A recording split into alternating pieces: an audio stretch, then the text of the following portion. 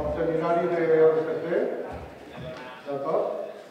I han hagut eh, uns amics nostres, el, la Montse Cusac, que és de l'Ajuntament de Mataró, i que una de les àrees que porta és el tema de responsabilitat social corporativa, l'altra és eh, preocupació i que vas estar ahir en el tema de, Els alemanys. dels alemanys, que si voleu fer alguna pregunta respecte a amb ella. Eh? I ens ha vingut eh, dos companys de, del sector, eh, del tros, sí. Eh, Judit Vidal, Vives, perdó, Judit Vives, de Cabró, que la seva redacció, i el Marc González, Marcos, Marc. Marco, Marco González, de corresponsales, d'acord? Ens explicaran tot aquest tema de l'OSC. Aneu un ordre perquè sabeu que de fer és posar el taller. Aquest és el primer taller que fem, per tant ja sabeu el, que dic sempre, que no es pot ampliar el pla de lliurament.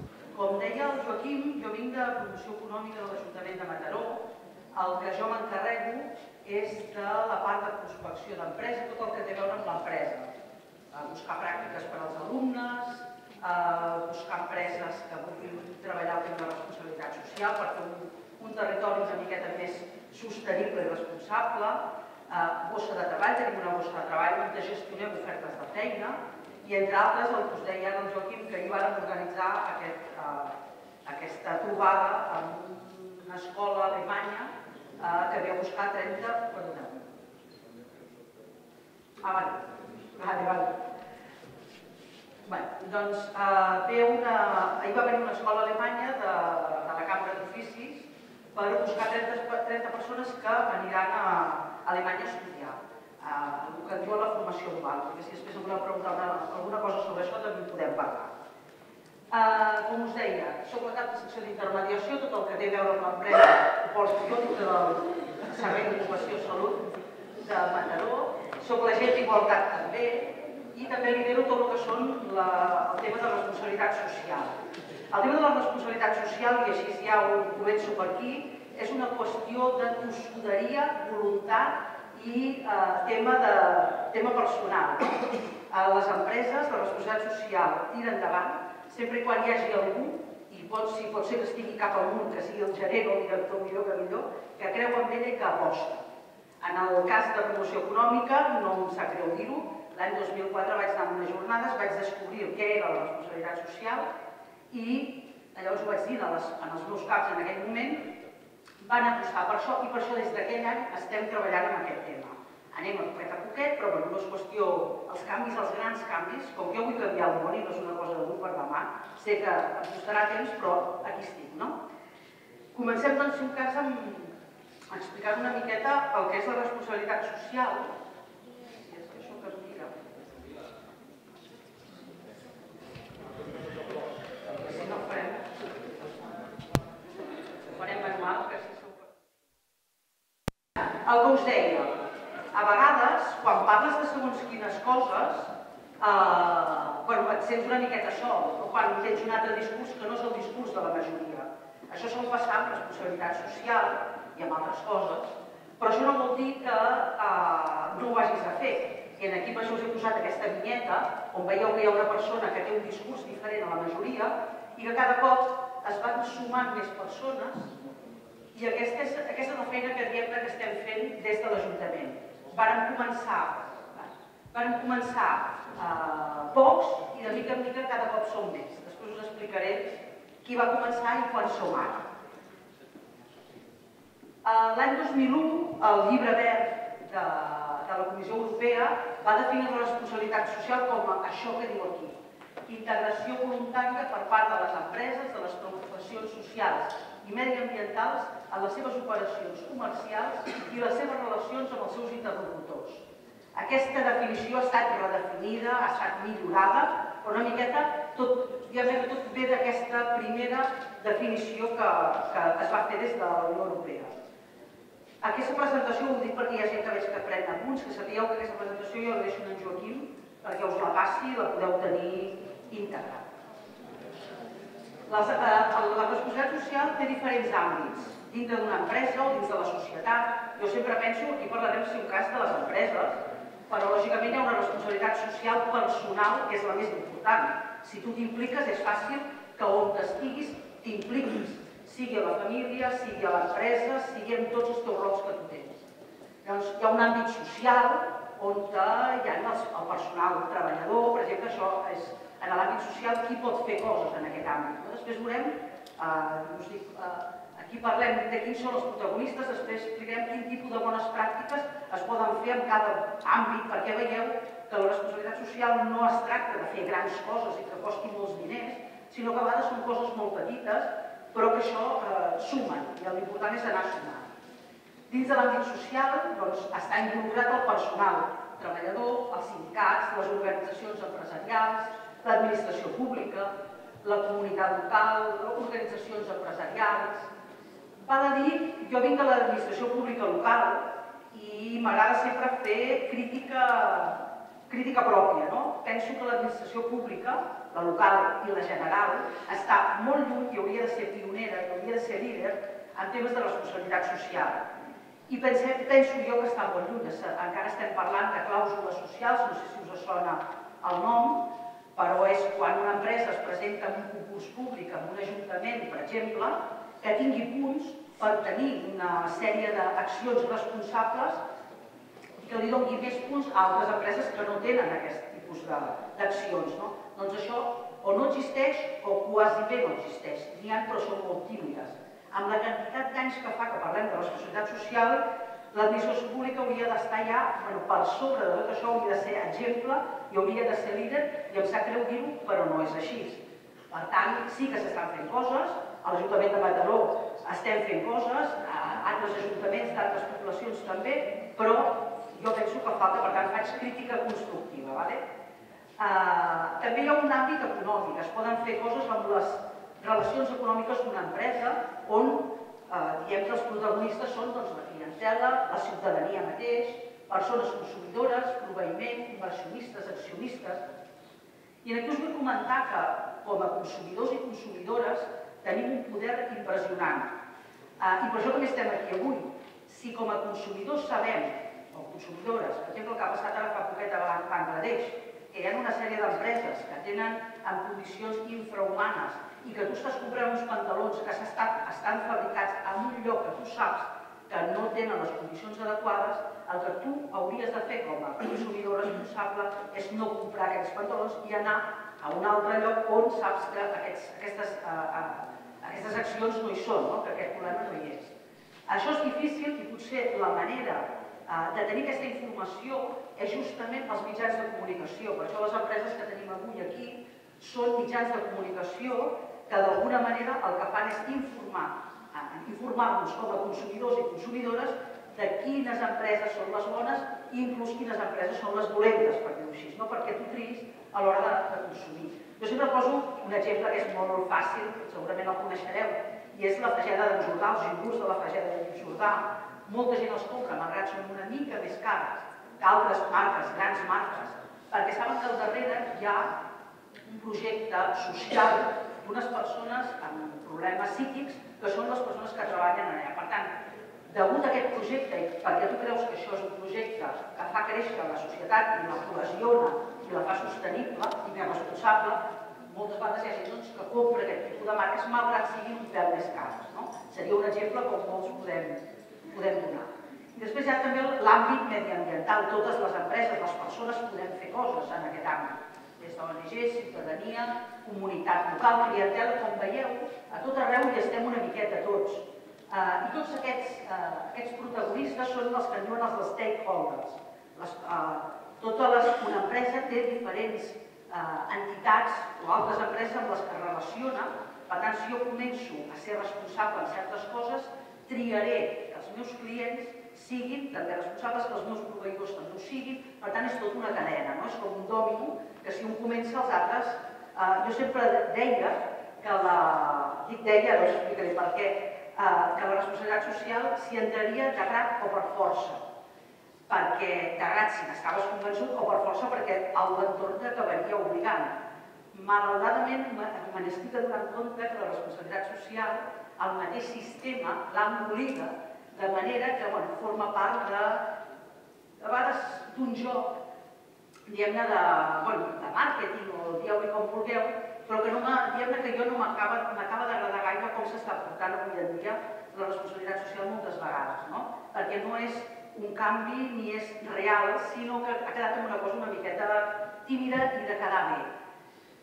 Sempre dic que l'empresa petita és la que més m'agrada quan fa responsabilitat social perquè són a vegades els que més eh, es mullen, però aquí també veurem alguns exemples d'empreses grans que també eh, tenen accions de responsabilitat social i tots una miqueta anem empuixant aquest, aquest uh, camió.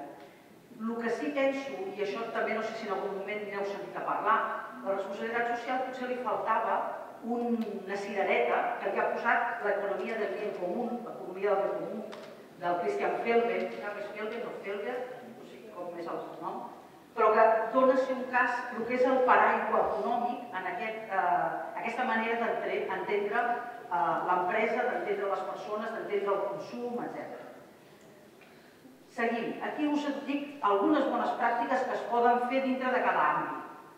La responsabilitat social pot ser interna de l'empresa o externa, cap a fora. I dintre de, si és interna o externa, us he posat els diferents àmbits. En direm alguns per no... Això us ho deixaré i a més a més tindreu exemples que també us que els tenim penjats perquè no ho veiem, però per exemple dintre de la responsabilitat social de l'àmbit social intern podríem parlar dels temes d'igualtat de gènere, de llenguatge no sexista, que aquí veurem un, cas com és el del Cap Gros, eh, veurem temes de gestió de la diversitat, que en una empresa hi ha persones molt diverses, a part del sexe, també és o raça, o religions, o edat, doncs poder eh, que els recursos humans estiguin contents, es quedin a l'empresa, els mateixos treballadors treballadores parlin bé de l'empresa, això és una, una manera que aquesta empresa creixi i sigui competitiva en el, en el mercat. Per exemple, dintre de la responsabilitat social interna, eh, la part econòmica, doncs moltes empreses de les que nosaltres acompanyem, doncs després us explicaré què fem amb elles, han fet el seu codi ètic. Una mica explicar quina és la meva filosofia i d'on parteixo. Si aquesta és la meva filosofia, vull que els meus treballadors i treballadores treballin així i això és el que nosaltres anem, i això s'escriu en un document que es diu Codi Ètic, per donar un altre, un altre exemple. Uh, per exemple, temes de medi ambient, doncs hi ha temes de reciclatge, reducció d'emissions de, de CO2, etc etc. Hi hauria molts, molts exemples, més que ara us ho poso perquè veureu que hi ha coses que tampoc ni són molt cares, ni vol dir comprar maquinària ordre. A vegades és maneres de fer, gestionar d'una manera més responsable i més, eh, eh, equitativa les empreses, les persones, les entitats, etc. Què fem nosaltres des de la responsabilitat eh, social que fem des de l'Ajuntament? Que per cert us vull comentar jo sempre he apostat per la RSO, perquè en aquesta O penso que hi som una mica tots, empreses, entitats, ajuntament, d'organització o d'organització. Tot i que veureu RSC, RSE, hi ha un munt de RS que totes són vàlides, però que sapigueu que si jo poso la RCO és per aquest tema de, de que siguem tots una miqueta dintre. Nosaltres tenim des del 2005 al 2012, 2013, que estem ja fent l'altre llibre, hem tret 7 llibres, 7 edicions de bones pràctiques, on hi ha 87 PIME de la ciutat i rodalies del territori amb bones pràctiques. Entre elles, les dos que estan aquí corresponsables i el Cap Gros. Eh, N'hi ha un munt més. Alguns han fet codi ètic, d'altres han fet temes de eh, llenguatge no sexista, d'altres han apostat per fer un protocol d'acollida pels nous treballadors i treballadores de l'empresa. Tots aquests llibres estan penjats a la web de l'Ajuntament, que jo després també els hi el, en el Joaquim perquè us els faci arribar, i podeu llegir, i és el que us deia, cada vegada que potser aneu a, a, a un restaurant o heu d'anar a a un restaurant, no està malament mirar la guia dels que hi ha aquí per veure quins tenen bones pràctiques i a l'hora d'escollir potser escolliu algun que tingui una bona pràctica al darrere que no pas un que no sabeu, sabeu què feu o al contrari, que sabeu que tenen els treballadors doncs, en males condicions o hi ha mal ambient o el que sigui. No? Més coses. Com treballem amb les empreses? Com us deia, jo estic en el departament que treballem amb l'empresa directament, en el qual podem rebre aquestes inquietuds. Hi ha moltes empreses que ja fan coses de responsabilitat social i és només dir-los o escrivim en algun paper que en algun lloc quedi escrit perquè tothom ho sàpiga i que no sigui voluntat només de el gerent doncs, que bonament o l'encarregat que bonament o li fa gràcia sobre la responsabilitat social, sinó que sigui un document d'empresa, no? de gestió interna d'empresa. Llavors el que nosaltres fem és informem a les empreses, fem una mica de coaching, no? les agafem, els expliquem què és la responsabilitat social, moltes vegades ja estan fent coses, d'altres vegades els hi fem una diagnosi general i veiem una miqueta on poden millorar, quines són les coses que ja estan fent i quines poden millorar. A partir d'aquí fem un informe de la diagnosi que els hi hem fet, des de les xerrades que hem anat tinguent amb elles, i mirem quin tipus d'accions podem portar a terme. En aquests resultats ja decidim una acció a terme i a partir d'aquí nosaltres contractem una empresa de fora, una consultora, que acompanya en aquesta empresa a fer aquesta bona pràctica en concret. I un cop la tenim, fem la difusió. Normalment venim aquí un cop l'any aquí al Tecnocampus a fer una sessió amb empreses de Mataró i, de, del territori, els donem un, un diploma que moltes d'elles tenen penjats, els que si us veieu, mireu les bones pràctiques, hi ha restaurants, per exemple, el Cau Brillat, on també l'he vist la residència Lària, que tenen penjat aquest quadre en el, en el, en el seu en el seu negoci, per dir-ho així, i aquí doncs, es fa un acte públic, eh, ha mitjans de comunicació per fer difusió de les bones pràctiques. Perquè tingueu un exemple d'una cosa que ens va passar concreta, i si siguin exemples potser entenem una miqueta més això. No? A la bossa de treball rebíem una oferta contínuament de la mateixa empresa d'un lloc de treball per una granja de postació per una persona que estigués venent el pa i les pastes i a més a més doncs, posant el cafè i tal. No? i trobaven una persona, la contractaven i al cap d'un temps, uns mesos, tornaven a demanar-nos la mateixa persona, perquè aquella ho havia deixat. Va arribar un moment que van dir, no, passa alguna cosa, no és només eh, que la persona, perquè clar, ells deien, no, és que el jovent no vol treballar, però normalment eren nois i noies joves les que acabaven en aquesta feina. És que el jovent no vol treballar, és que vam dir, potser hi ha algú que sí, però tot, tot no m'ho crec, no? Llavors vam anar a mirar què és el que passava. El que passava era que eh, tenen, bueno, com que era degustació, de forneria degustació, estaven obertes moltes hores durant el dia. I no havien fet una cosa tan fàcil com és seure tots, tot el personal i eh, comentar-los, a veure, quines hores et van millor a tu, quines et van millor a tu, perquè alguns tenien fills, cadascú tenia les seves històries personals, amb la qual jornades de 9 hores o partides els hi anava malament fer-les, per això deixaven la feina. Llavors, va ser tan fàcil com organitzar reunions internes d'equip de treball en el qual tothom pogués dir, doncs mira, a mi m'aniria bé jornada partida, a mi les tardes perquè al matí no sé què, a mi al matí, i així vàrem acabar fent amb el mateix personal, el personal s'hi va involucrar, un horari de flexibilitat horària, que tothom li anava bé, l'empresa no havia de tancar cap hora, sinó que estava oberta totes les hores que volia, i les persones podien eh, conciliar la seva vida personal i familiar. Coses a vegades perquè moltes vegades els emprenedors que munten una empresa doncs han tingut la idea, han muntat l'empresa i es troben que l'empresa va creixent, tenen 4, 5, 10 treballadors i no saben fer gestió de recursos humans.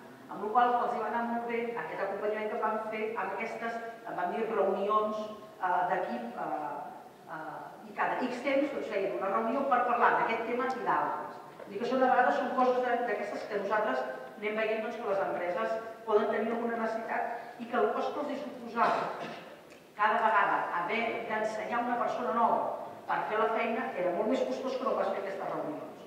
Doncs a vegades és la, ignorància o el no saber com gestionar aquest tipus de coses. Què és l'important de la responsabilitat social? Penso que és bàsic i per això també estem aquí. És el boca-orella el fet que unes a les altres s'ho diguin, el fet que quan jo vaig a comprar en els meus proveïdors perquè tinc això, una granja d'expostació, demano que el de les begudes també tingui un codi ètic o demano de les begudes que també faci reciclatge de residus, etc etc. Quan jo ho començo a demanar, tot això va, eh, va fent taca d'oli, com deia abans. Primer vam començar el que era l'IPEM eh, sols, ara som direcció de promoció econòmica, Després vàrem veure que anar sols era una mica absurd i vàrem crear el que se'n diu la xarxa de responsabilitat social de Mataró, on hi ha totes aquestes empreses que veieu aquí. i on tenim una sèrie d'objectius que cada any ens posem, entre ells és venir a difondre la responsabilitat social entre la gent que esteu estudiant i que algun dia sereu treballadors, si no ho sou ja, treballadores, i que sou o sereu empresaris i empresàries, i cada any ens reunim, una vegada a l'any, doncs, per dir què és el que hem fet i quins són els objectius del proper any. I aquí hi ha doncs, Direcció de Promoció Econòmica, Consell de l'Ajuntament de Mataró, Aigües de Mataró, FETEMSA, Residència Laia, Fundació Planes, Fundació Tecnocampus, Empresa Cases, Vilaseca S.A., Escola Via Santana, Acre, Comissions Obreres, Media Responsable, que està aquí al parc doncs, la representa, Fagem i Fundació Aimar, doncs cada any anem sumant més empreses i més entitats. I després, quan vam tenir aquesta xarxa organitzada, vam dir que també tampoc ens volíem quedar només a, a el que era Mataró i territori d'influència, per dir-ho així, i ens vam apuntar com a xarxa a la Red Retos, que és una xarxa de xarxes a nivell nacional. Com veieu aquí, hi ha diferents poblacions i províncies que formen part d'aquesta red, eh, la Red Retos, que podeu veure aquí la seva la seva web i dintre d'aquesta web hi ha totes les bones pràctiques també d'aquelles empreses que us deia de Mataró estan penjades també en aquesta web per fer la màxima difusió possible. I també per ser exemple, cada bona pràctica porta qui la fa i com la fa, també amb el correu electrònic de contacte perquè qualsevol empresa en qualsevol lloc de la geografia eh, espanyola ens pugui trucar i dir, escolta, uh, cap gros, com heu fet això? O media responsable, com heu fet això? Perquè vull fer el mateix a Bilbao, a Galícia o allà on sigui. Vale? Perquè són pràctiques que es poden i s'han de copiar. Dir-vos que Mataró va ser la primera ciutat de tot Catalunya que va formar part eh, de Red Retos. Hi havia la Diputació de Barcelona, però la primera ciutat que juntament en va formar part van ser nosaltres, per tant en aquest tema sí que en som líders en aquest és possible un territori socialment responsable? Perquè, esclar, una cosa és les persones responsables, les empreses, les entitats, però, clar, tot això fa que el teixit, el territori, el que volem és que tothom sigui responsable. Bé, doncs, un territori és possible que sigui responsable sempre que hi hagi, primer de tot, voluntat política, això és important, que apostin per això, sempre que hi hagi líders i personal tècnic compromès, perquè si vas a una entitat o una empresa i la gent no es compromet, no fem res, com dèiem abans, és, la, és un tema també de tossuderia de les persones, ciutadania activa, els ciutadans no hem d'esperar que, bueno, això ho ha de fer l'Ajuntament, això ho ha de fer el govern, hi ha moltes coses que podem fer, de fet ja s'estan fent, hi ha associacions per queixar-se de coses, va sortir el 15 en el seu moment, hi ha hagut diferents coses on la ciutadania d'alguna manera està dient, bueno, d'això ja n'hi ha prou la irresponsabilitat, això ho deia un mestre que a mi admiro molt, que és el, el Jauregui, i ell sempre deia que la irresponsabilitat ens ha portat on estem. Per tant, o fem les coses diferents o això se'ns en va a pique. I si no se'ns en va a pique, el que està clar és que feliços, feliços no ens fa. Més aviat al, al revés. No? Agents implicats socialment, eh, tot, els agents em refereixo a sindicats, a ONGs, etc instruments i metodologies adequats, cal doncs això, el telèfon de diagnosi, això més o menys ja ho tenim, vull dir que en aquest sentit hi hem avançat. Obertura, això és molt important. Uh, a vegades uh, les coses te les donen tal com les tens i tu penses que això, ui, és molt difícil de canviar, ui, això no uh, costa molt. Jo sempre dic que la responsabilitat social ha de tenir una, part de, somni i de pensar que les coses són possibles. De fet, si, si la majoria de nosaltres no consideressin que podem fer alguna cosa per millorar el nostre entorn, no tindria massa sentit estar aquí, no? perquè les coses sempre es poden millorar per al bé de tothom, no perquè uns quants eh, siguin els beneficiaris d'això. No? Per tant, jo penso que davant el no fer res o fer alguna cosa, tinc més possibilitats de canviar les coses si faig alguna cosa. Per això jo aposto per fer alguna cosa. Sigui, per exemple, el fet d'estar aquí i explicar-vos a vosaltres el que penso i com penso i després compartir, arriscar i transformar. De dir, bueno, no vaig sola, sinó que m'ajunto. I si algú de vosaltres està interessat en no sé què o algun dia fundar una empresa, veniu-me a veure i mirem què podem fer i així caminem junts, perquè la suma de les parts fa un tot molt més gran. Aquí és el que us deia abans, l'economia del bé comú, que no entraré en detall, però estaria bé que li donéssiu una ullada, perquè penso que posa el paraigua de sistema econòmic alternatiu al que tenim ara, que em sembla que no funciona massa bé. I, i torno al que dèiem al principi, no? si busques eh, resultats diferents no passes sempre el mateix, per tant, atreix-te a començar a dir coses diferents, perquè segurament primer estaràs sol, però després te n'adonaràs que hi ha més gent que vol eh, el mateix que vols tu. I aquí us deixo les dades per posar-vos en contacte i els Twitter, els twitters. Uh, en, el, en el primer cas era la meva, el meu correu electrònic per qualsevol cosa que em vulgueu preguntar us deixo un Twitter de xarxa RS Mataró i de Rei Retos, el meu també és Montse Cusacs, arroba Montse Cusacs, per si voleu això, qualsevol tipus de pregunta o de, o de qüestió que voleu formular. Bon dia. A mi m'ha convidat a nom de de les primeres sobre la carta d'elecció del setmanari Cartots. No sé si tots sou de Mataró o de Mataró, m'imagino que siguin estudiants de l'àmbit de la comunicació, espero que conegueu com a mínim què és Capgros. Si no, us faré una presentació molt ràpida de què és. Segurament, si us dic Capgros, doncs tots pensareu en aquesta revista d'aquí, que es cada divendres a forns, a botigues, a centres cívics, a comerços de ciutats i d'algunes ciutats de, dels aquí del Maresme. Capgros és un setmanari gratuït que és de publicitat, és informatiu i va sortir per primera vegada l'any 84 d'abril i bueno, la va crear Toni Ros, que és el president de l'empresa, setmanari d'informació local. Uh, actualment, bueno, aquí teniu algunes dades, ens distribuïm a 600 punts a Mataró del Maresme, repartim 30.000 exemplars i la, el baròmetre de comunicació l'any passat ens va donar una mitjana de 100.000 lectors setmanals. Això perquè tingueu una idea de quin és el gran pilar de, la nostra empresa. Uh, Capgros va començar modestament com una revista de publicitat amb una mica d'informació, però va anar evolucionant i va anar creixent com a mitjà informatiu bastant potent. Un salt important va ser l'any 2002, 2003, 2002 en prop, 2003 especialment, quan vam engegar el digital capgros.com, que va ser definitivament la confirmació de que l'aposta de Capgros era informativa, eh, complementada amb tots els serveis i la publicitat que continuem oferint perquè són la base del nostre del negoci de l'empresa, però el principal criteri nostre és informatiu. Eh, actualment doncs, també podeu entrar a capgros.com, tenim un butlletí que actualitzem diàriament, eh, enviem 15.000 butlletins eh, subscriptors que tenim subscrits a la pàgina web, tenim 27.000 usuaris únics perquè tingueu una mica de, de, les, de les dades que manegem. Són els mitjans potser més coneguts. Eh, entre mig vam tenir també la publicació del Mataró Report i després va convertir en eh, Maresme Report, que hem deixat d'editar, també per les circumstàncies en les que estem, hem decidit apostar per Capgros. Continuem fent coses paral·leles que segurament si teniu nanos a la família doncs potser coneixeu perquè per Santes i per Nadal publiquem un conte il·lustrat que també distribuïm i eh, regalem als nostres lectors. Però a banda de tot això, que potser és el que més es coneix de Capgros, l'empresa, d'aquests 30, quasi 30 anys, fem els 30 anys, doncs hem anat creixent en altres serveis. I a part de fer la revista i tenir la redacció central de la revista en el portal digital i en aquestes coses que fem complementàries, també tenim una, un departament dedicat a altres serveis de comunicació.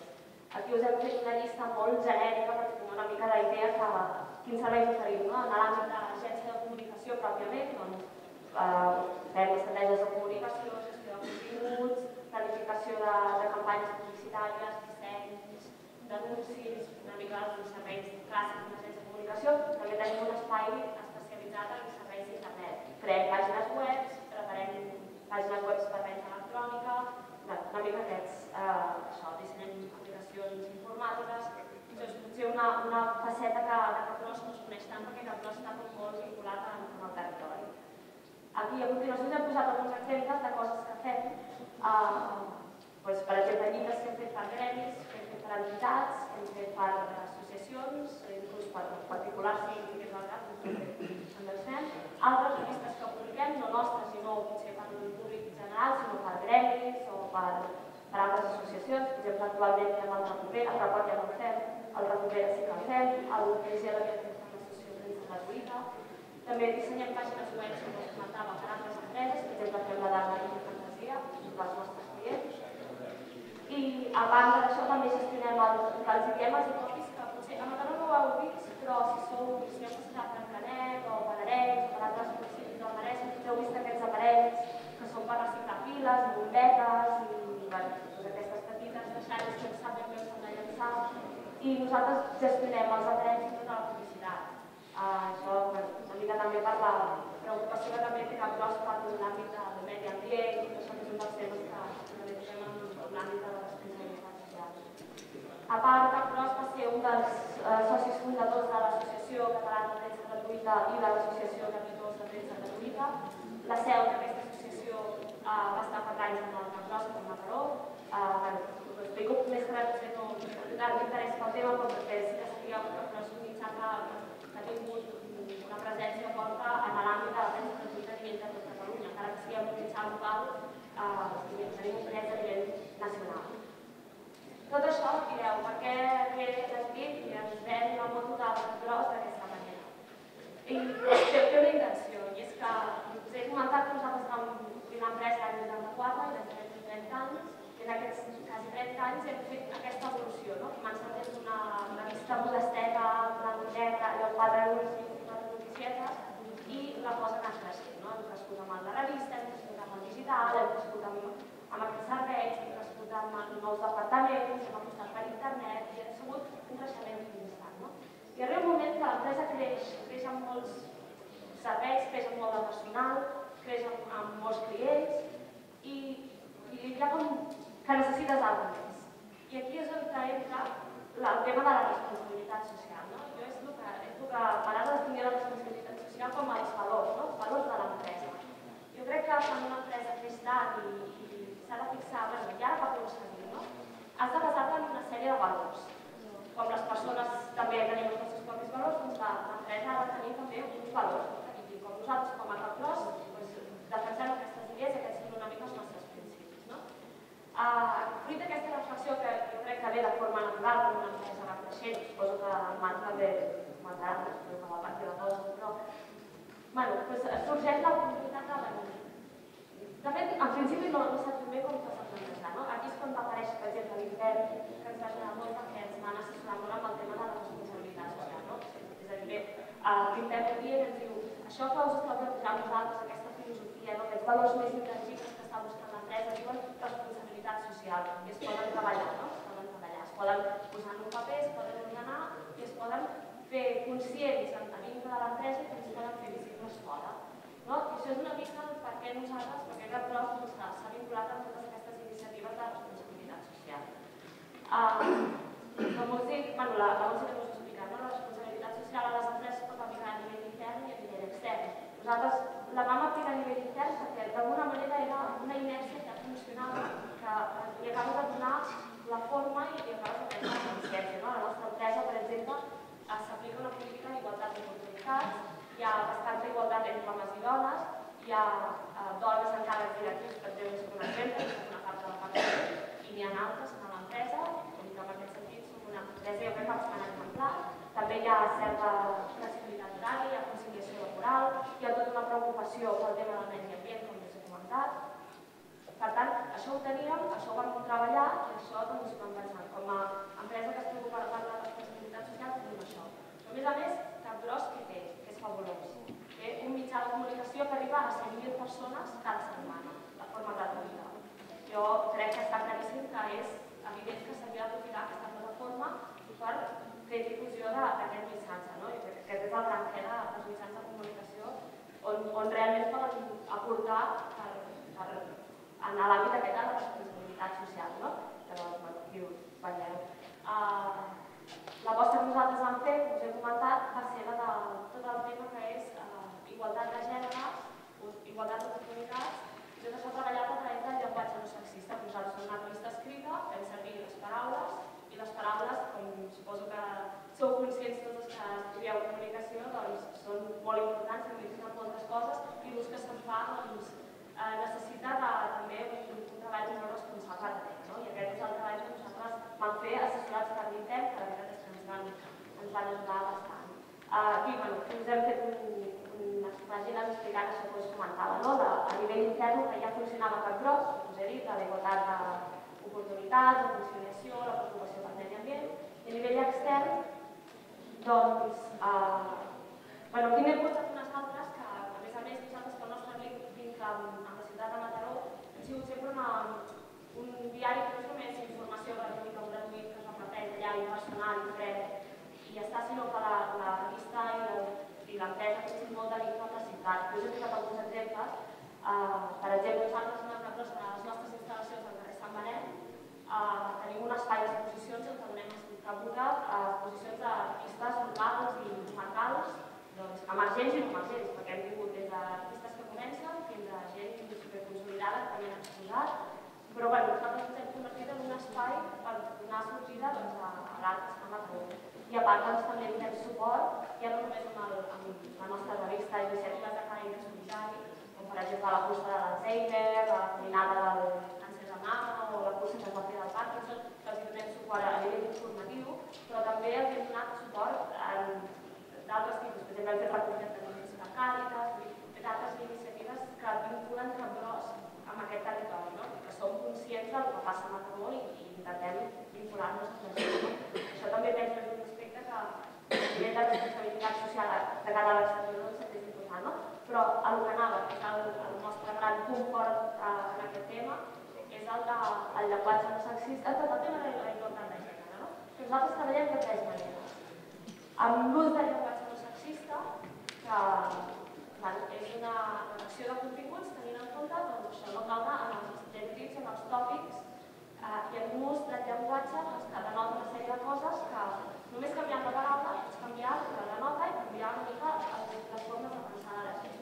Posaré uns quants exemples després, uh, igual que també us posaré exemples de uh, això que li diem promoció de la dona. Doncs a través dels nostres continguts intentem visualitzar el que fan les dones de Mataró i per extensió doncs, el que fer una dona, no? sortint de potser els àmbits més estereotipats o més tòpics que, que poden venir al cap. I amb aquestes mesures doncs, també intentem trencar amb els estereotips, donar veu a la dona, visualitzar-la i tal. Uh, us he preparat aquí un exemple del que és el llenguatge no sexista perquè sempre es veu només tant amb exemples que no pas explicats, molt clar. Això són titulars que podeu trobar ara mateix en el capgros.com. No, no notícies d'actualitat, sinó notícies que estan publicades en el portal de, diferents coses. I jo us he marcat, aquí em permet, les paraules que diria que són claus, no? Per exemple, l'alumnat del batxillerat artístic a per l'exposició. L'alumnat, no els alumnes, perquè els alumnes no, són nois només, no? que fan l'exposició, són nois i noies. Doncs parlem de l'alumnat, no? que es vegi, doncs, faci bé que es. Val? Un altre exemple. Els pares i mares de l'Angeleta Paré es manifesten. I no són només els pares, perquè no són només homes, i no és per caure en el tòpic de no, posem les mares perquè famílies són mares, però intentem que la gent prengui consciència de que la problemàtica d'una escola afecta a pares i mares igual. Posem els pares i les mares. Vale? És un petit gest, però que si tots insistíssim en això, potser podríem canviar alguns esquemes mentals que estan consolidats en la societat. Aquesta és la feina de, formiga immensa que tenim davant nostra, però que s'ha de començar a fer, sobretot amb mitjans de comunicació, eh, que tenim una responsabilitat essencial. Altres exemples, no? Teatre en anglès i dansa per gent gran, no pels amics, sinó per la gent gran, val? que no té, no té gènere, és, inclou homes i dones. El mateix, no? Desenes d'infants, també hi ha molta tendència als nens, no, els nens no, els nens i les nenes o els infants, una, una paraula eh, que engloba el Una notícia sobre les eleccions, no parlem dels electors, no de l'electorat, que les dones ens va costar molt aconseguir el dret a vot i volem constar quan es fan notícies d'eleccions, de, eh? l'electorat. Uh, una altra manera de dir-ho, uh, 84.000 mataronins i mataronines, val? això us deia, eh? que les dones volem que s'expliqui tot també que, que estem jugant. I el que us deia dels pares i mares, els pares i mares, doncs les famílies, no els pares, sinó les famílies, els pares i mares, hi ha hem de buscar paraules que reflecteixin una mica la realitat, no? la realitat social i que intentin no fer caure en. Val? Aquesta és la feina principal que es pot fer des d'un mitjà Cap Gros i, i bueno, des de qualsevol mitjà de comunicació realment i fins i tot a l'hora de quan ens posem a escriure, no? Dir que només tenir una mica de consciència de quines paraules fem servir és la manera ideal per fer canviar aquests, aquests estereotips o aquests esquemes. Una mica el que acaba, el ha comentat la Montse és, és, és la clau, no? és la voluntat personal de cada persona. Nosaltres vam el treball que amb l'Intern, doncs vam fer cursos de llenguatge no sexista, vam agafar tots els nostres redactors i els vam asseure i els vam dir heu de ser conscients de que treballem el tema de llenguatge no sexista, sisplau, eh, posem-nos posem a pensar dos minuts abans de publicar una notícia si realment estem utilitzant les paraules adequades, si podem canviar un esquema mental canviant una paraula. Val? Això és una feina que és la que costa. Jo no us enganyo, us dic la veritat, aquesta és la feina que costa més i aquesta és la feina que s'ha de, eh, de treballar més i la que haureu de, de demanar doncs, més, això, més compromís i més esforç si algun dia doncs, us trobeu en aquesta situació. Jo, dic, jo penso que fins i tot escrivint en un blog, escrivint al Facebook, escrivint on sigui, podeu fer aquests petits gestos de pensar significat tenen les paraules que servir. I a banda de tot el tema aquest de llenguatge sexista, com us he comentat, doncs també eh, intentem reforçar tot el tema de la igualtat de gènere a través dels continguts pròpiament, no? Eh, amb articles i reportatges doncs, que visualitzen eh, l'activitat de les dones més enllà de les situacions tòpiques de, de, de dona que cuida de nens o intentem sortir d'aquests tòpics, no? Busquem intentem sempre que podem doncs, tocar temes de, des d'òptiques femenines. No? Les dones busquen el seu espai, els reportatges són les associacions de dones que hi ha a Mataró, que estan currant una feinada increïble doncs, per això mateix que estem parlant, doncs, per la igualtat d'oportunitats. Hem parlat d'una noia que és arquitecta no? una dona arquitecta triomfant, a més a més de l'estranger. Doncs, sembla que és un exemple per anar. No? Uh, la Roseta Rabora Marcalà, que ha passat als Jocs Olímpics, no? dones que han guanyat una medalla olímpica, doncs són fetes que, que, que també trenquem una mica els temes femenins. No? Emprendre, de, emprendre l'èxit als 50 anys és que ha fet una dona, una dona amb 50 anys. Una dona que era eh, administrativa d'una empresa, es va quedar a l'atur, va estar un temps pensant fer feina i llavors igual que se li va acudir doncs, de muntar una pizzeria a domicili però de pizzas artesanals i la veritat, la Verge dona i és un èxit eh, aterrant l'empresa que té. No? Estava molt bé la seva història perquè era la història d'una dona emprenedora tot el procés que havia seguit. I era una exemple a seguir, no? De, no pateixis que dona als 50 anys te'n pots en sortir. I un altre exemple claríssim, no? la Fanny que és una escriptora de Mataró, és una escriptora que està interessant a nivell nacional i els seus llibres els ha traduït en quants idiomes per tot el món. Doncs visualitzem no? que les dones també poden tenir èxit a nivell mundial. Val? I per últim, nosaltres també intentem visualitzar la feina de, de, de mirada femenina o visualitzar tot això a través de les associacions d'opinió que si entreu a macros.com doncs veureu una part d'opinió amb articles de diferents persones i una part dels nostres, dels nostres opinadors doncs, més són dones. No? us he posat alguns dels noms que són els més habituals que ens escriuen o perquè veieu que, que tenim una comunicòloga que ens parla de temes de enfocats al tema mediambiental, tenim una sexòloga, tenim un estudiant que té 16 o 17 anys que fa unes reflexions molt interessants sobre des de la seva òptica d'estudiant, de la realitat, dels temes que li preocupen, però que està molt bé, no només com a estudiant, sinó com a dona, doncs també des d'aquest punt de vista.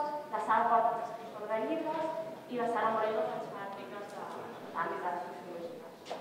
I bueno, una mica això són tres apunts, tres tastets perquè veieu que es pot treballar la social no és allò, no és una feinada increïble, sinó que és més aviat aquesta presa de consciència, no? Aquesta presa de consciència de relacionar eh, quin és el material que estem treballant, què signifiquen les paraules, quina imatge estem projectant, i, i només amb aquests petits gestos, sí que sona la típica frase, no? però els petits gestos poden canviar el món, i jo penso que, que són petits gestos com aquests que, com a mínim, modestament, intentem des cap. Us convido a tots a passar per Capgros, per també Sant Maret, si voleu veure les exposicions i evidentment a agafar la revista i a entrar al nostre portal i a consultar una cosa. Moltes gràcies.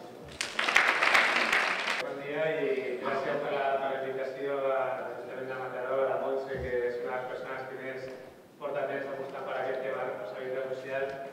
Eh, en una ciutat, bueno, era el principal poc que estava a Peña de Mar, i bueno, la conec una mica, no? tant de l'època estudiantil com, com de l'època de la feina, sincerament és molt difícil, molt difícil aquest tema de responsabilitat social, que, que sembla molt utòpic, que sembla molt idealista i de més pues, eh, portar-lo al territori. No? Un dels temes de la responsabilitat social és que no sembli un, un concepte massa genèric i, i com es pot aterrar pues, cadascú de la seva especialització, cadascú del que fa i al final és un tema que s'involucra a tothom. No? A mi m'han demanat una mica,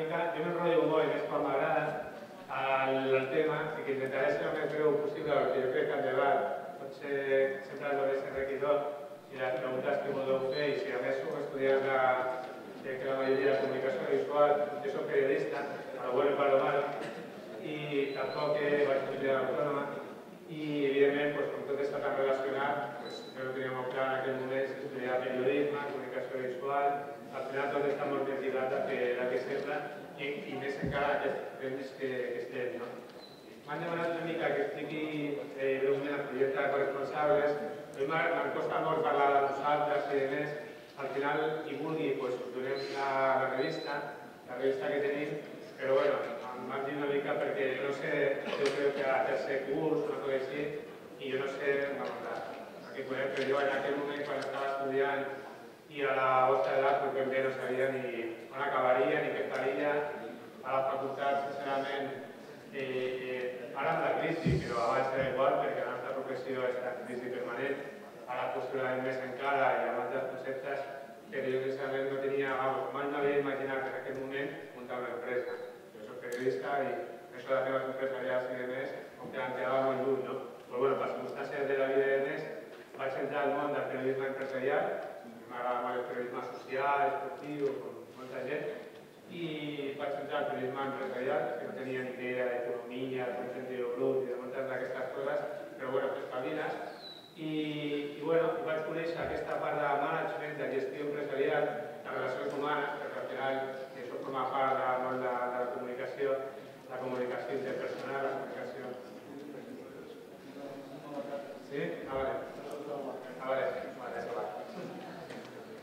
I total, que al final per circumstàncies doncs, bueno, vaig començar a tenir diferents càrrecs a la Cambra de Comerç de Barcelona, una revista que feia d'Economia, a diferents revistes Cinco Días, alguns mitjans de comunicació, com passa la nostra professió, pues, eh, fem, fem moltes beques, moltes pràctiques no remunerades, al món de Catalunya, i, i vaig arribar al món empresarial i, bueno, hi va haver un moment, el 2001, justament quan deia la Montse, això de la, de la gestió del llibre de la Comissió Europea, de la responsabilitat social, i vaig començar a conèixer i em va connectar moltes coses. No? Les preocupacions que tenia com a periodista, dir, ostres, buscar l'interès des del punt de vista de la relació empresa amb la societat, totes les empreses són dolentes, els empresaris tots són els culpables de tot, o n'hi ha gent que intenta fer bé les coses, des del punt de vista del periodisme, eh, de la comunicació, pues, eh, quin paper tenim els mitjans de comunicació amb aquesta temàtica, podem realment complir la missió que sembla que van ser creats, eh, posar eh, aquesta funció social dels mitjans de comunicació eh, està, pot ser activa en aquests moments que sembla el mercantilisme, que tot està eh, molt economitzat, eh, i també pues, aquesta part de la societat. No? Va ser un lligam que vaig començar la tesi doctoral el 2001 sobre aquests temes de la responsabilitat social dels mitjans de comunicació, intentant qüestionar-me i preguntar-me si era possible eh, que un mitjà de comunicació eh, divulgués la, la responsabilitat social i se l'apliqués a la seva mateixa activitat, no? O no, perquè la majoria de mitjans de comunicació pues, sembla que els periodistes són molt, molt criticons, són molt crítics en tot el que es fa, moltes vegades, com havia dit anglosaxó, eh, som los perros guardianes ¿no? de las noticias, juzgamos, opinamos, criticamos, però qui nos juzga, qui opina i qui nos critica. No? I bueno, amb tot això, pues, el 2005, amb gent que coneixia les empreses, de mitjans de comunicació, em van animar a crear corresponsables, va, va ser fa 8 anys, amb aquesta missió, no? que és eh, bueno, pues, crear un mitjà de comunicació que estigui especialitzat en la responsabilitat social i que ajudi a posar en valor el que es fa bé. Aquesta és la missió que, que tenim. No? Donar a conèixer el que es fa bé perquè com a mínim no hi hagi excuses. Com a mínim, acostuma a passar al revés dels mitjans de comunicació que acostumen a posar les males notícies, no? hi ha un tòpic a la professió, un news no news, les bones notícies no són notícies, és notícia quan un, un home o una dona, una persona mossega un gos no quan un o sigui una persona? Et diu com a mínim quan quan jo estudiava, tampoc fa tant, però bueno, fa, fa alguns anys, pues no, nosaltres vam intentar revertir la situació. Si donen a conèixer les coses que es fan bé, des de tot el punt de vista, en grans empreses, tant pimes, administracions públiques, ONGs, tothom, universitats, professors, tothom, creiem que podem aportar un gra de sorra per millorar una miqueta aquest món que es toca viure. Com a mínim que no hi hagi excuses i que la gent si vol, la gent si vol que, que, que faci bé les coses, no? Que al final és el que ha estat la responsabilitat social. Molt resumida i l'ha explicat molt bé la Montse, ha estat de, de fer bé les coses en tots els àmbits de l'empresa de l'organització en la que estiguis, no? Des del punt de vista laboral, social, mediambiental i en totes les relacions estables, en totes les relacions que interactues amb els teus grups d'interès, amb els teus clients, amb els teus proveïdors, amb la societat, amb el medi ambient, amb el que, amb el que vivim. No? I nosaltres ho vam fer, que és el, el punt, des del primer de la principi, intentant aplicar la responsabilitat social a la nostra gestió. Què vol dir això en un mitjà de comunicació? S'ha explicat ja algunes coses a l'Udit, no? Eh, sobretot intentar aplicar com qualsevol altra empresa, que al final, i això m'ha costat molt, m'he de ficar-me al cap, i el meu comptable, el meu gestor, és el que em fa la de la pel·lícula, dice, sí, Marcos, tú, tienes mucha utopía, tú primero piensas como periodista, siempre me critica para esta vida, ¿no? Tú primero piensas como periodista y luego piensas como emprendedor. Y digo, bueno, pues que así por tu 8 anys. No? És el que la crisi pues, has de fer compatible una cosa amb l'altra, no? Perquè si no idees són molt maques, però molt més importants en la feina actual. No? Pues van crear i estem en la, amb el punt de com podem aplicar com a petita organització. Nosaltres som un equip aquí a Catalunya, a Espanya, a Catalunya i Madrid, de 11 persones. La meva lluita, la meva, la que enteu al sol, és la mantenir els llocs de treball, la situació de crisi, doncs ja sabeu com, com està, i cada cop pitjor. Però bueno, va ser una forma de, també de l'empresa, no? crear empleo. Sembla una utopia en el dels mitjans de comunicació, però nosaltres de moment, fins ara, espero que us gusten, de moment no hem hagut d'acomiadar la gent. Tot al contrari, amb una internacionalització que estem intentant fer, estic intentant fer una mica a les Amèriques, és hem establert a Mèxic, ja vinc, per això tinc una mica de lag i per això sureixo per expressar.p, perquè he fet una mini gira, que semblen com unos bolos, per Argentina, Colòmbia, Xile, Perú, Equador i Mèxic per explicar una mica què fem i per intentar el mateix que fem a Espanya, sabent com està la situació econòmica, ostres, abans de, de prendre mides més dràstiques, que és una llàstima, quan ja tenim un equip de periodistes, de professionals de comunicació que que no estan por, pues bueno, si no tenéis tanta feina com tenien abans aquí, pues oye, intentem-la buscar fora, no?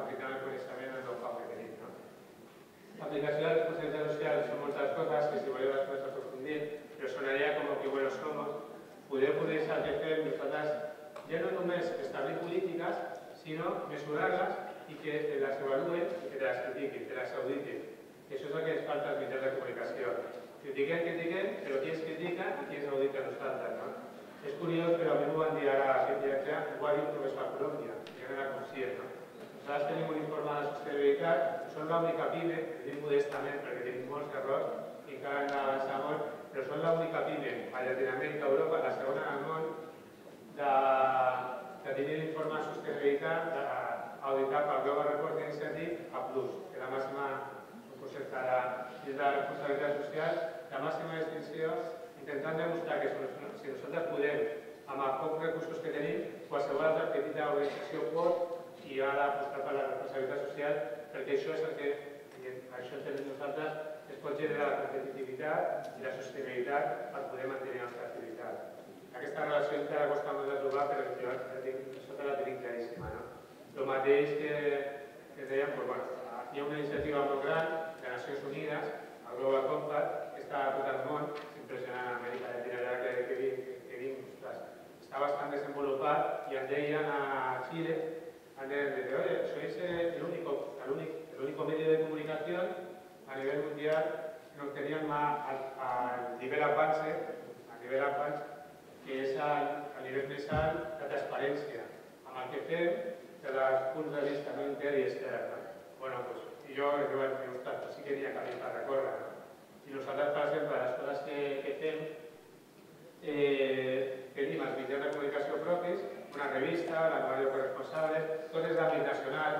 Jo vaig néixer, va, va néixer el projecte a Premià de Mar, jo vivia allà, i i és veritat que a mi l'alcalde de Premià, que encara continua Miquel, es van donar un premi de, de, el premi de la Diputació de Barcelona quan hi era, allà en la crisi l'han suspès, es van donar la PIME més socialment responsable de Catalunya, no? I no em vaig quedar ni em vaig presentar, es van quedar una mica sorpresos, no? I ell m'ho deia, no? quan va, van anar a recollir el premi, que, ostres, te has puesto premia el Maresme al mapa, ¿no? com a mínim d'Espanya. I bueno, pues, mira, amb el tema de responsabilitat social tot podem contribuir. No? Bueno, pues tenim diferents mitjans de comunicació, la pàgina web corresponsables.com, l'anuari corresponsable, la revista, eh, el portal pues, el mateix dedicat a la mobilitat, la sessió de persones amb discapacitat, ja tenim més de 200.000 pàgines vistes al 2011, ahir em deien justament que, que he tornat a pedir i perdoneu perquè tinc un jet lag, que ja no sé on estic a vegades, i he superat el mig milió de visites ja l'any passat. Doncs creiem que, que aquest tema de responsabilitat social, tot i que sona molt utòpic, que encara sona què ho fan les empreses, ho fan per màrqueting, per cosmètica, per rentar la seva imatge, que si volem, si volem podem discutir una mica d'això, doncs bueno, cada cop, malgrat la crisi, va més. I això és una senyal de què, què és la responsabilitat social i què pensa, no? I després fem com a mitjà de comunicació i com a editorial, fem més de 60 llibres, guies, memòries de responsabilitat social. Nosaltres no fem aquesta part que de Judit, de la presidenta de comunicació, de l'agència de comunicació, sempre tenim allà el, això de poetic parte, l'ètica periodística, és, és complex aquest tema, no? Però nosaltres de moment hem apostat per continuar sent només un mitjà de comunicació per bon i per mal. No? I bueno, no sé si, si voleu algunes conclusions d'aquesta gira per Amèrica Llatina i si voleu doncs, comencem una mica el debat i si n'hi ha puc posar, si funciona l'internet, us poso un vídeo de dos o tres minuts, jo crec que, que veu bastant millor aquest tema i el que cadascú pot fer. Però bueno, algunes tendències a un tema que és molt complex. Eh? La responsabilitat social, jo pensava quan estava fent la crisi i quan vaig eh, crear corresponsables, eh, clar, pensava que, bueno, periodista, sembla que sabem de tot i mai sabem de res, perquè, bueno, pues, periodisme empresarial, menys encara, i especialització en algo que, a més, connecta amb unes preocupacions en sectors socials, no, la meva forma de pensar que el periodisme sí que pot contribuir, encara continua contribuint a millorar la societat en la que vivim, i hi ha molts exemples d'allà, el canvi climàtic, la seguretat eh, vial, la violència de gènere, hi ha molts temes que, eh, s'han millorat bastant en els últims anys, com a mínim la preocupació, la sensibilització, inclús han comentat lleis al respecte, i això, part de la culpa, la responsabilitat en aquests temes ha estat dels mitjans de comunicació que l'han posat a l'opinió pública. No? Pot passar el mateix amb el tema de responsabilitat social. Si al final el que es tracta és de millorar la societat en la que vivim i de donar a conèixer que les empreses no només estan per guanyar diners, i evidentment han de guanyar diners, qualsevol organització, sigui la mani o sense ànim de lucre, la mateixa universitat ha de ser rentable, exemple, això és fonamental i d'això m'ha costat, crec que queda clar. Eh, però el que importa és com es guanyen aquests diners i com generes valors, amb valor amb aquests diners, com crees valor compartido, com diuen alguns eh, diuen alguns per, per. No? no només per capital, pels empresaris, sinó com generes valor per tothom, treballadors, clients, pels proveïdors, per la societat en la que vius. Vale? Això la, això és la responsabilitat social. No? I, I anem reptes no, tema. Una, i per això és curiós, perquè amb el tema del nom corresponsables, ara cada cop ho sentim més. Inclús eh, fa anys, quan vam crear l'empresa, jo quasi ja no recordo per què vaig estudiar aquest nom, però era per aquest concepte, no? Tots som corresponsables del que passa al món. Aquí no hi ha és molt fàcil criticar, és molt fàcil opinar, es que esto es culpa de los políticos, es que esto es culpa de las empresas, esto es culpa del vecino, etc. No? Lo difícil, i això no som molt llatins, jo he vist Amèrica Llatina és igual o pitjor, és, és una experiència increïble, jo mai no havia pensat en anar per aquests països i és una, per, per mi és una experiència vital impressionant, no? Conèixer gent com tu, a aquests països, amb aquestes mateixes preocupacions socials i ambientals. No? Ja, jo dic, si jo he aconseguit de moment crear aquesta empresa, que jo no mai he tingut vocació empresarial, mai, qualsevol pot. No? Al final tenir una idea, tenir ganes, tenir il·lusió, posar-li molta feina, evidentment. I, bueno, i envoltar-te d'un equip que pugui ajudar-te a suplir les teves mancances, que tinc moltíssimes. Jo, des del punt de vista gestor, soc un desastre. Soc periodista i, bueno, i jo, jo conec la meva professió, però la part de gestoria i la part de tal, bueno, pues, intento tenir persones al meu equip que puguin fer les coses que, que jo, no, jo no sé fer tan bé. No? Això és molt important en qualsevol feina. No? I a vegades això ens costa molt d'assumir de la perspectiva llatina o de la perspectiva de que la delegar, l'autonomia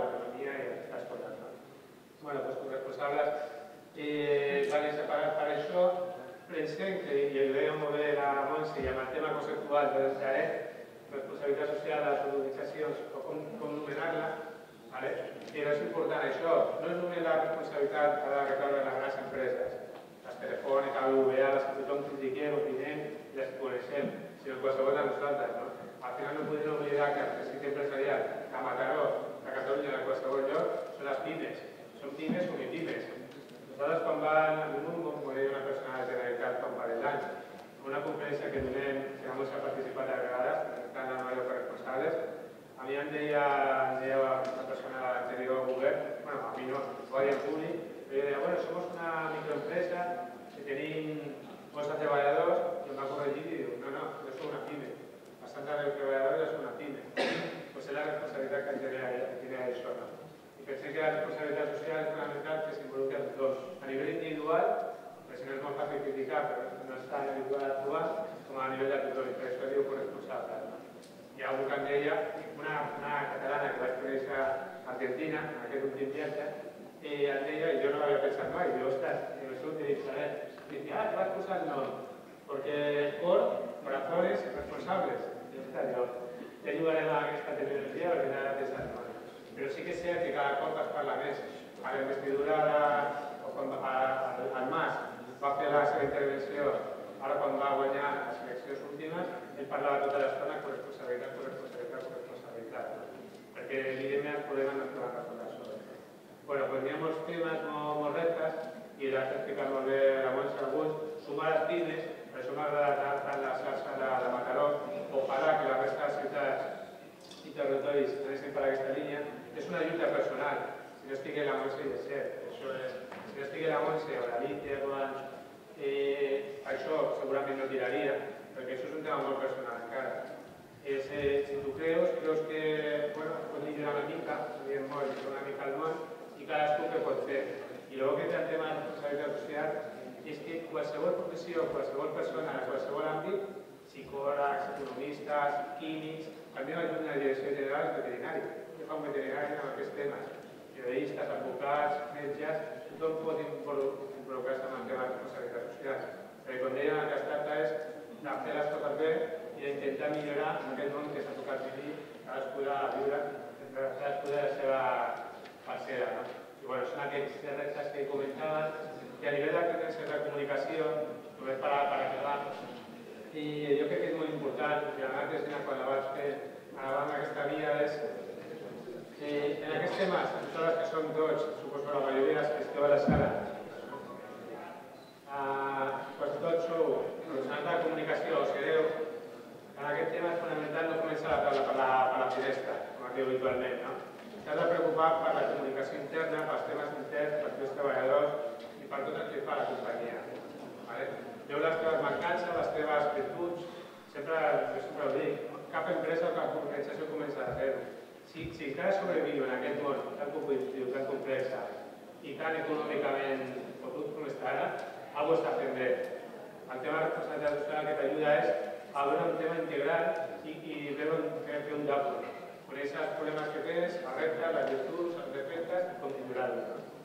Pues, bueno, és fonamental el tema de de la comunicació i com nosaltres eh, diem, i, i és la clau, i per això vivim, i suposo que el gros de la seva forma, eh, en aquest món tan mediàtic com l'actual, és tan important fer les coses bé com fer-les saber. I això a l'empresa catalana costa moltíssim encara, moltíssim. És impressionant el que deia, no? Hi ha gent que està fent bé les coses. I, i es veu, les publicacions que veia, les publicacions de Mataró, que, que s'han fet, iniciatives que jo mira que coneixia Mataró bastant, a nivell personal, jo no tenia ni idea, i a la cantonada hi havia un restaurant que estava fent bé algunes coses, o una fàbrica que sigui, no? Precisament el problema que hi ha és que la falta de comunicació o la mala comunicació amb aquests temes, no? Però és fonamental, si vols eh, continuar viu, el tema de comunicació, no? I evidentment allà pues, hem de donar suport. Nosaltres tenim un canal de vídeo, per Responsabilitat TV, tenim moltes plataformes les xarxes socials, tothom, i pensem que és fonamental, no? però sempre com a mitjà de comunicació d'aquesta hora de sal. Informar i donar a conèixer aquest tema, aquesta és una responsabilitat social, i l'altra, igual d'important, és aplicar-te a la organització i mesurar, auditar i avançar amb aquest, amb aquest part. No? Jo, si permeteu, intento posar un mini vídeo, que jo crec que són dos minuts només, i així fem una mica no, el, el debat, perquè podeu veure una mica, bueno, per aquí surt, si voleu al meu correu, si us interessa, només segur, és un tema, només que tornem a premiar propers mesos. Eh? I, bueno, si algú us interessa aquest tema i voleu col·laborar o cosa, ja tenim, una persona aquí dentro del campus que ha col·laborat bastant amb nosaltres, pues, eh, si teniu aquesta sensibilitat social més, pues, bueno, que creu que, que us podem ajudar o mirar com, com podem col·laborar. És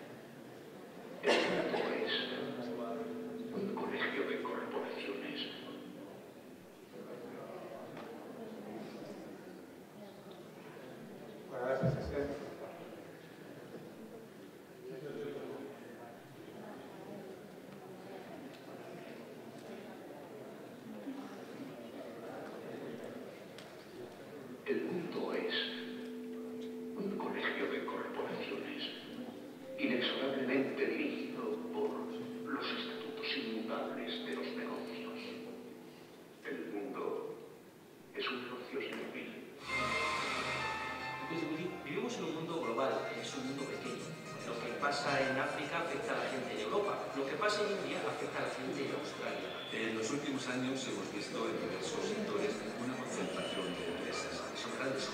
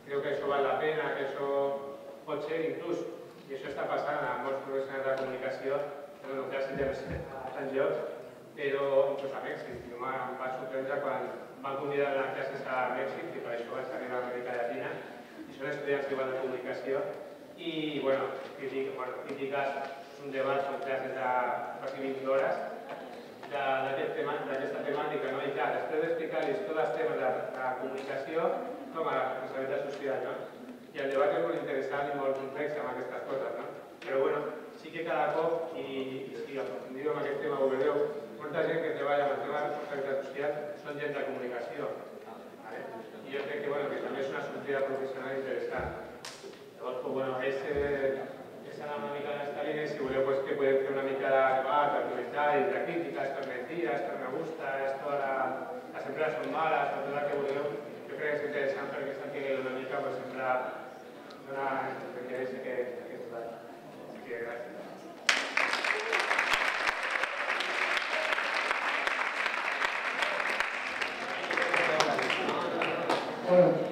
Ara seria qüestió de si voleu fer algun tipus de pregunta. Algo que no us queda clar. Sé que, que són, és molt de temps i no fet cap descans entremig, però crec que és una oportunitat per a, per a donar qualsevol millor, però volia fer una pregunta i és a tots tres, eh? en el sentit de quins beneficis heu trobat en, l'aplicació de la responsabilitat social corporativa en l'ambient dels treballadors, en, en què s'han incrementat les ventes eh, o la distribució del... del no em fan cas, són els alumnes, no em fan cas. La distribució del, del, diguem, de les publicacions, d'acord? I, i l'altre costat, és dir, eh, l'Ajuntament ofereix moltes ajudes, o en què ofereix ajuda l'Ajuntament per posar en marxa, encara que ja ho has apuntat? Potser centrar-te una miqueta en això. Ajuts per el que per per, per augmentar la responsabilitat social corporativa, no? I, per exemple, a la Judit, doncs, el tema de la formació en llenguatge no sexista, etc etc. I vosaltres, vull dir, si l'ambient, si l'ambient, per exemple, els treballadors, doncs, eh, s'ha sentit més, eh, més a gust, si la societat els ha acceptat millor, si aquests espais, per exemple, de, de cultura, eh, que us ha implicat a vosaltres com, del punt de vista de costos, des del punt de vista, doncs, no sé, a, a l'ambient social, a que ha donat obertura, a, a uns expositors que potser si no es posen a través d'aquest espai no tindrien aquesta oportunitat. No? Vale, en el cas de l'Ajuntament, eh, el que fem, eh, eh, com deia en, en un principi, són aquelles empreses que estan interessades que volen tirar endavant eh, projectes de responsabilitat social o accions concretes, el que fem els hi donem, sense cap cost per l'empresa, els hi donem un consultor o consultora que els ajuda a fer tot el procés. Fem la diagnosi, perdoneu, fem la diagnosi de l'empresa, fem aquell informe que us comentava i quan tenim l'acció que s'ha concretat una acció amb l'empresa, l'acompanyament per portar-la a terme el fan amb una empresa externa que a l'empresa acompanyada no li costa, eh, no ha de, de, de pagar, per així. No? D'aquesta manera ens assegurem que l'acció es porta a terme, queda escrita, amb la qual es comprometen a fer-ho i el que ells haurien de pagar, diguem-ne, doncs, a una empresa que els fes de, de coach no, per fer tot aquest procés, els hi posem nosaltres. A part, doncs, en el cas de, de Cap Gros, en aquests moments es va fer una formació perquè les mateixes empreses acompanyades ens ho van demanar sobre com escriure, eh, i no només l'escriptura, sinó també les imatges, que no fossin sexistes, sinó que fossin igualitàries. O sigui, no donem diners, no donem... I l'última cosa que donem, que també d'una manera eh, no és directament, però sí indirectament, eh, és la, aquesta difusió que fem amb aquestes empreses. Són com grans anuncis, per dir-ho així, és a dir, aquestes empreses tenen accions de responsabilitat social, per tant, d'una manera indirecta estem dient si has de consumir, consumeix aquí abans que altres. No? Serien les dues coses que, que fem. El cas de Control, sí, la, explicar la relació amb els ajuntaments quina va ser, que va ser, ens van ajudar una mica a ordenar les idees en primer lloc, després amb aquests, amb aquests talls de formació que han sigut molt pràctics. A nivell de l'empresa, dels treballadors, doncs això els dic que va ser, és aprenentatge, no? és reciclatge dels professionals, no? perquè també et tornen a recordar que com has d'escriure, tot això també, que també va bé, no? A nivell d'empresa, de, bàsicament els beneficis, que, beneficis econòmics no es pot parlar en aquests termes, no? En tot cas pots parlar de benefici de, si no té imatge, no? Una mica reverteixen a la, la imatge que projecta la teva empresa i el teu mitjà, no? El Caprot està molt vinculat en el territori, nosaltres som un, un mitjà d'informació local, a més a més vivim de la publicitat local. Uh, totes aquestes accions doncs, repercuteixen en que, en que millora la imatge, que nosaltres la imatge, i perquè és veritat, a més a més, que no és només imatge, no? que, que és un mitjà implicat, que és proper, que la gent està participant en la ciutat, a més a més una, un mitjà consciencial. No? Uh, una mica la, la, el gran benefici i el gran avantatge de la responsabilitat social és aquesta, no? el de fer bé les coses, deia, ensenyar que les fas bé i a més sentir-te orgullós, no? de pujar l'autoestima de la gent que treballa amb tu i la teva pròpia empresa, doncs, també és un punt per mi de millorar la, el nivell no? i també la qualitat de l'empresa. Crec que seria això una mica el que destacaria. Per exemple, seguint la, la mateixa línia, per mi és clar, si no apostéssim per la responsabilitat social, ja hauríem desaparegut.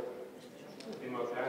I és algo que sembla molt utòpic i jo us dic que ara ja una conversa de 20 minuts impossible, però és cert, o sigui, en el nostre cas, estem dient com estan caient els competidors, gent que tenen molts més diners que nosaltres, que precisament és el que, és el que no tenim, perquè això va néixer un préstec que em van donar a mi, que jo a emprenedor, d'un premi que em van donar per l'àmbit acadèmic i tal, va ser això, no?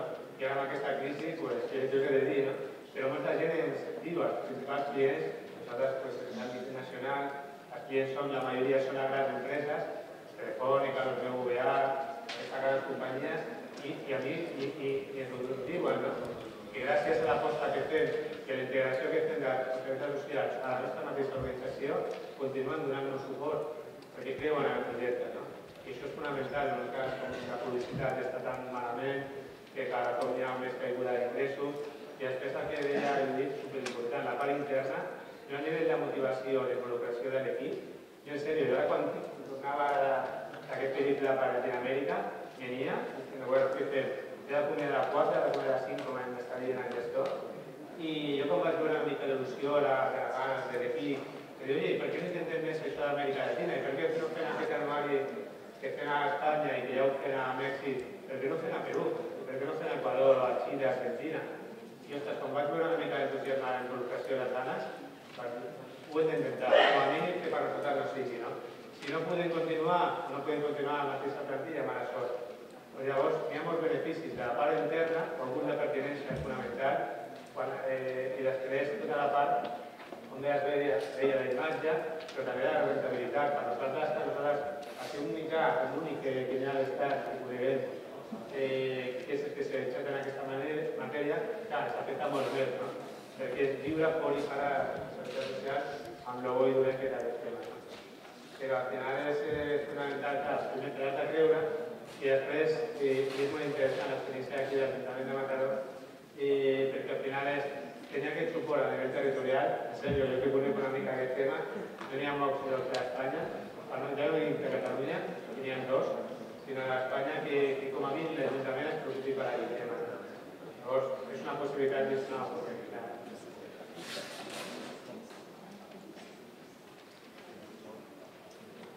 Alguna, alguna pregunta més?